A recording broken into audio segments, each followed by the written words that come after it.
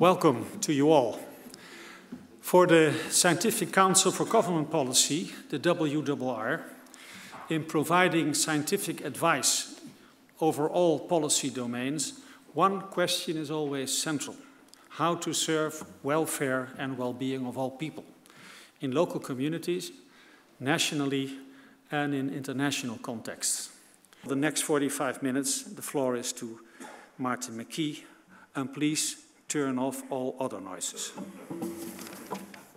So let me just set the clock running.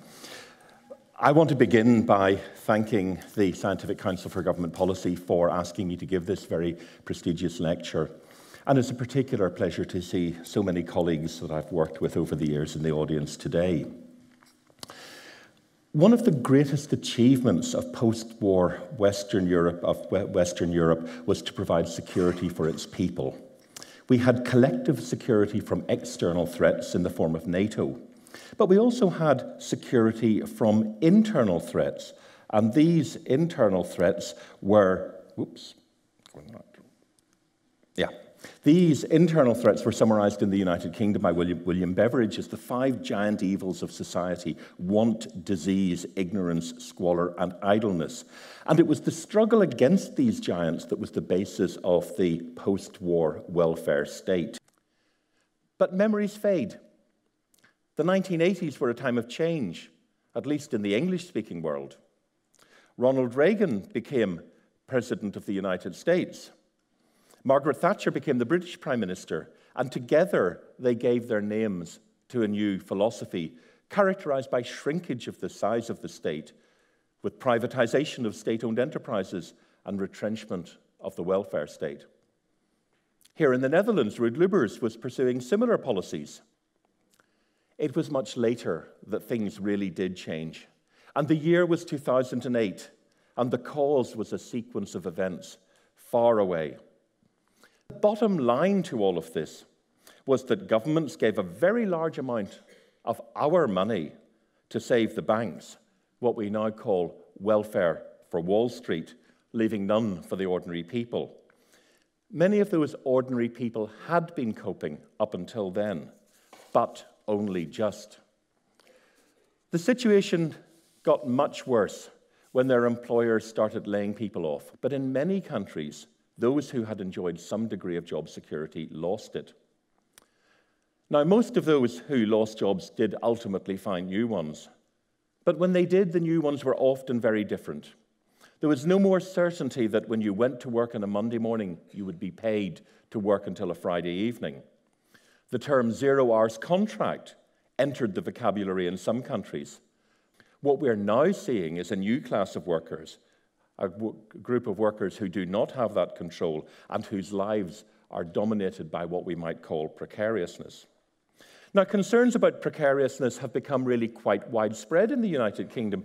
So, what I now want to do is to look a little bit at those in the population who are the precariat, or who at least have, begun, have become so. Well, we can see that precariousness is a complex, multifaceted concept from some of the ways in which it's been described. But what all of these have in common is that lo- those whose lives are precarious face uncertainty in several areas, including employment, income, and housing. It's been linked to what has been described as the privatization of risk. Now, politicians often see this as a good thing. They frame it as giving individuals back control. And of course, it has intuitive appeal.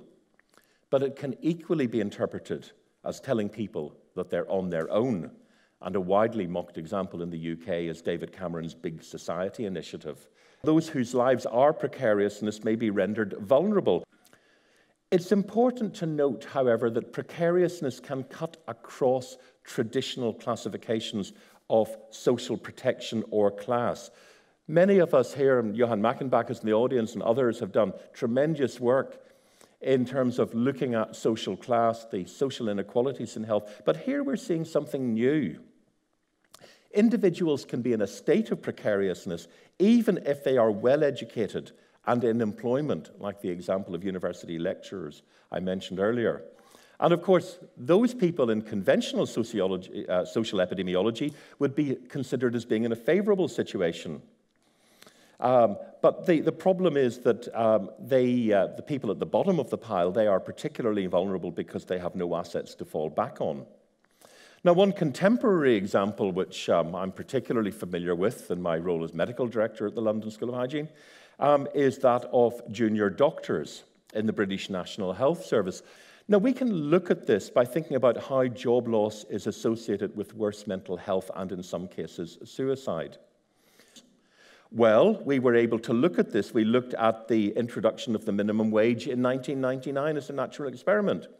And what we found was that there was a significant improvement in mental health, but only for those whose incomes increased by a few pennies. It was a very small increase, but what we found was that the impact, the magnitude of the change that they experienced was considerable and it equated to what you would have found if you had put them on antidepressants. So it suggests that for people whose lives are precarious, a very small change can make a very big difference.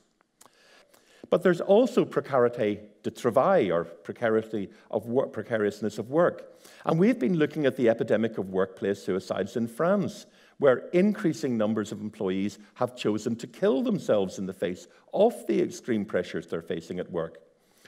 We can look beyond employment and income.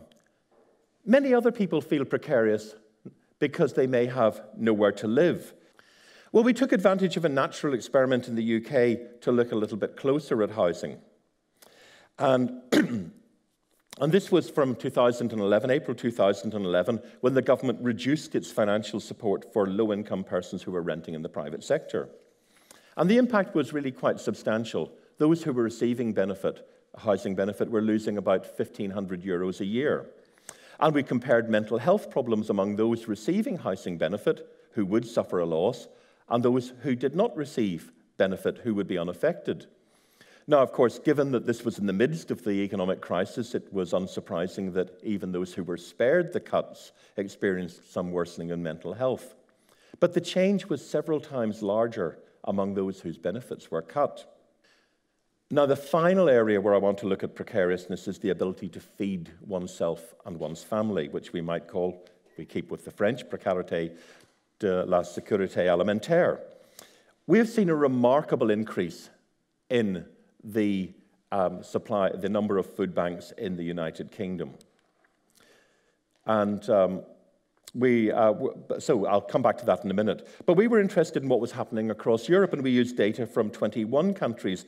And we found that food insecurity had increased between 2004 and 2012. And we could show when we looked at the natural experiments across Europe, this was clearly associated with uh, both job loss and with income reduction. Let me just pull all of this together so far. We've shown that the financial crisis and the subsequent imposition of austerity has impacted on people in many ways. An estimated 5 million European citizens lost their jobs between 2008 and 2010. Many others have experienced reductions in income. Many people have lost their homes, and if they haven't lost their homes, they've fallen into arrear. Although the data are not easily available, where we do have data, we can find that the numbers of homeless increased by about 15% between 2008 and 2010. Other people, shockingly, have gone without food.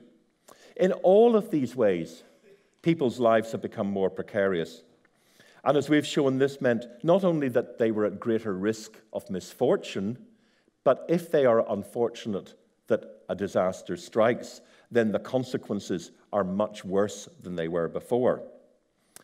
And of course, what we have described is only the tip of the iceberg. Many of those who have escaped these experiences live in constant fear of the future. Their jobs, their income, their housing may be secure for now, but for how much longer? They can still afford their homes. Will that continue?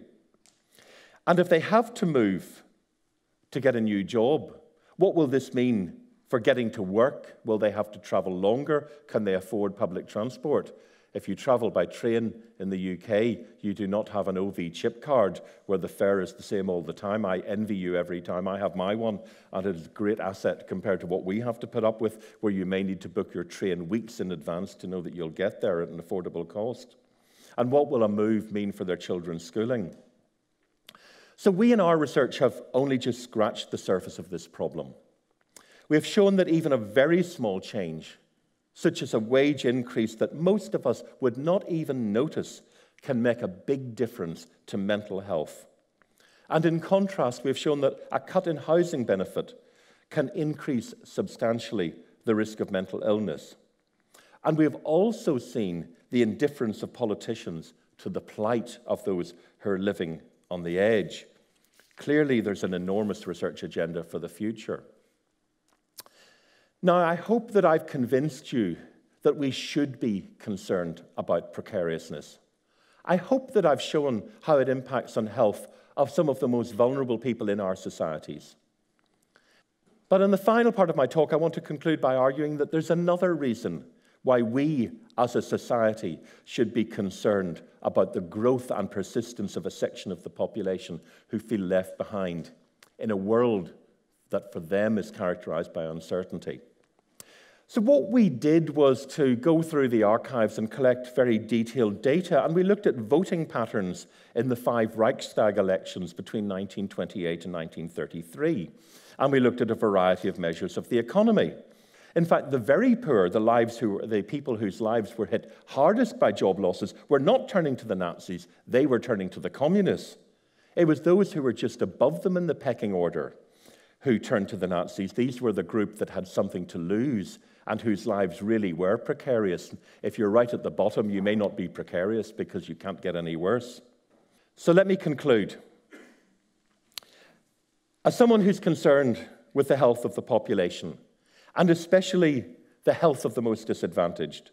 I must try to understand the impact on health of the changes that are taking place in society. And as a European researcher, and I should stress that despite the suicidal policies or lack of policies being pursued by the government of the country in which I currently live, I am a committed European. I have the benefit of an incredible natural laboratory to study these issues. The growth of precariousness is not inevitable. While wages have stagnated in the UK and Germany, they've risen in Finland and Slovakia. But the common feature of policies that protect the health of populations in the face of adversity, active labour market programs, and policies to protect people against losing uh, people from losing their homes, is that they show ordinary people that those in power actually care they actually care about them, and that's a very important message. But there's another reason why we should be concerned, and that's my final point. Our democratic systems are based on a social contract, and those in power, those with the power, should not use that power to breach that contract. Because if they do, we know the lessons of history, and we know that if they do, it can have consequences for us all. U wel. Thank you very much.